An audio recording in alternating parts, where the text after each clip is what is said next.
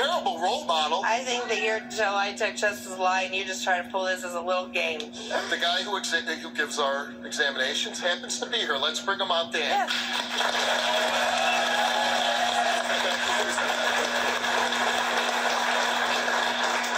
Now, Dan, you give all our examinations here on the show, and do you have any vested interest in manipulating the outcome of these tests? Not at all. So, would you say you gave her a fair and reasonable exam?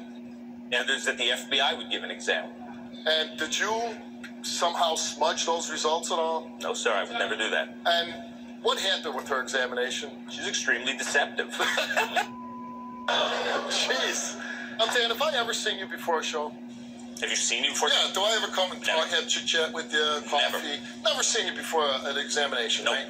If I, I'm just curious, if I came to you and said, "Hey, Dan, I don't like this mom. Will you make the outcome look? You know, let's let's throw it under the bus." Absolutely not. I'm a forensic examiner, a member of the American College of Forensic Examiners. I have a license to protect. And So you wouldn't jeopardize your whole career for me?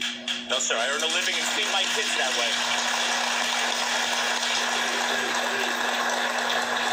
Mom would like to discount her daughter's uh, lie detector results because she thinks that you know her daughter has memories or doesn't have memories. You want to explain that portion of it? Sure. When you tell the truth, you access your memory. So if I go, is your name Steve? You go, yeah. But where's that information stored, Steve? It's stored in your memory. If I go, did you rob a bank this morning? You look in there and you say, no, I didn't rob a bank. So when you give me the truth, you're accessing your memory. So I always discuss questions with an examinee to make sure that they have a clear recollection and they can answer yes or no. If they're not sure, we reformulate the question or we don't ask it. She was sure of everything that she answered.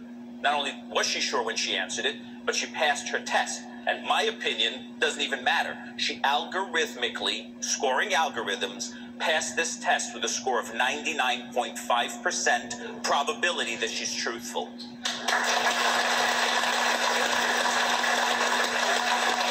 That's totally my whole life since that was a lie. Thanks for coming on, Dan. Thanks, I appreciate it. Wait. Thank you. What about I had a